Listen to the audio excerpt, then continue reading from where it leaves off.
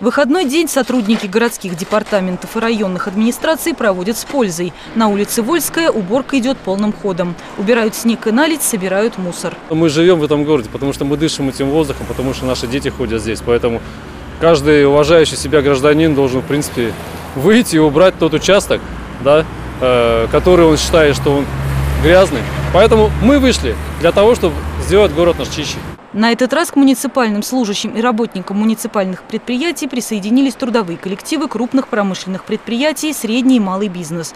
С призывом не оставаться в стороне к предприятиям обратился губернатор Николай Меркушкин.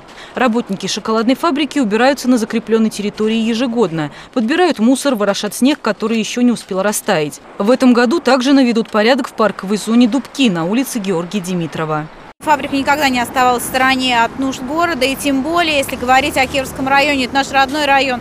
Мы здесь всю жизнь, мы дружим очень с администрацией, поэтому всегда откликаемся на такие призывы, выходим, помогаем. Кроме традиционных субботников и средников, ежедневно чистоту на улицах областной столицы наводит более трех с половиной тысяч работников служб дорожного хозяйства и управляющих компаний. Активнее участвовать в этой работе приглашают и жители города. Работа ведется очень активно. По нашим оценкам, не менее 10 тысяч человек сегодня вышли на субботник. Мы ожидаем, что э, активность э, жителей, предприятий, организаций она будет нарастать. В ближайшие дни на помощь людям выйдет и дополнительная техника. Уже сейчас в ежедневном режиме на улицах города работают почти 150 спецмашин, в том числе 15 дорожных пылесосов. Как только установится плюсовая температура, на борьбу с пылью выйдут поливомоечные машины.